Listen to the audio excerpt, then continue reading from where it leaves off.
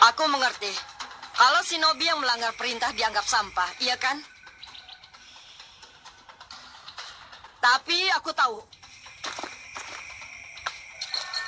Hal pertama yang diajarkan guru Kakashi pada kami semua adalah bahwa orang yang mengabaikan teman lebih buruk daripada.